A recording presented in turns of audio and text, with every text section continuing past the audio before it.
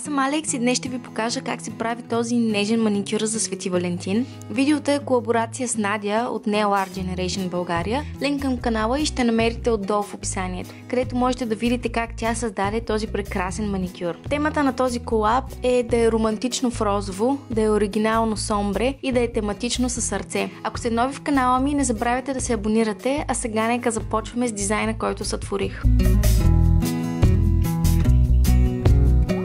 Вече съм нанесла основа на всички ногти, за да ги предпазя и съм изчакала да изсъхне напълно. За безименния пръст ще използвам тънки зигзаг лепенки. Поставям две на ногтя, като се старая вълните им да съвпадат. Притискам хубаво с пръст, за да съм сигурна, че са залепнали много добре. На този ногът ще направя малко по-различно омбре. Започвам с светло-розов лак, който нанасям, като го съсредоточавам в горната част на ногтя. След това използвам по-тъмно розов за средната част и накрая тъмно розов за последната част най-отдолу.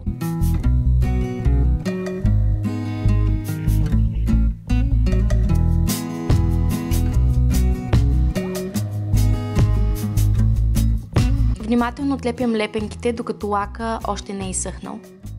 На останалите ногти нанасям по два слоя светло-розов лак и два слоя бял лак на показалеца.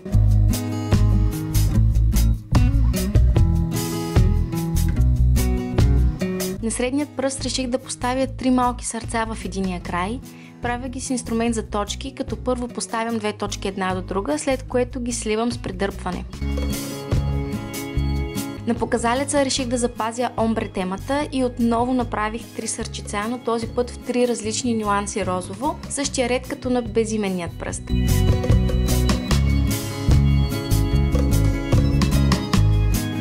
Накрая поставям по едно малко бяло сърчице на останалите ногти.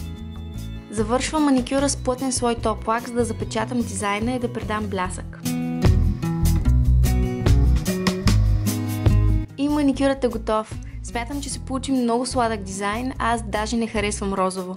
Този маникюр е идеален за деня на влюбените, както и за всеки друг ден, защото не смятам, че е нужен празник, за да показваме любовта си. Както винаги, можете да променяте дизайна, ако има нещо, което не ви допада в него. И ако решите да пресъздадете този или някой друг маникюр, ще се радвам да го споделите с мен в Instagram.